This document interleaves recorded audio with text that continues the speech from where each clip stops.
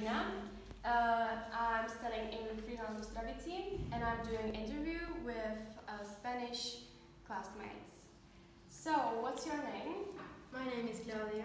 Mine Maria. And mine is Irache. Uh, where from? Uh, we're from Spain, from Asturias.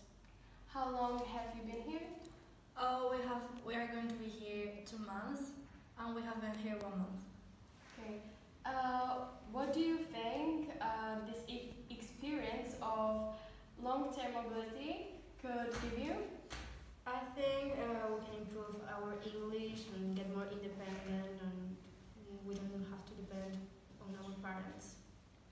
And uh, new new cultures and um, um, meet new uh, cities and yeah. And it's a great experience for making new friends, like dive in the culture and the culture. And it's an experience that it will be like pretty different for any other experience that will happen all of your life.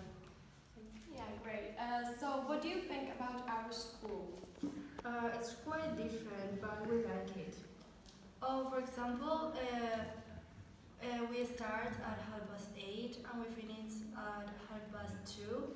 We only have a break of 30 minutes and we don't eat in a school. And our classes last uh, 55 minutes. Yeah, well, in my opinion, I think I prefer the Spanish one, but it's just because I'm like used to that um, schedule and all those things. Yeah. Uh, and what do you think about Czech Republic? I think it's a cool country, and Prague is really pretty and has a lot of story behind these years. Yeah, I think the same. It's really beautiful, but um, I think I prefer my Spanish. Mhm. What about monuments?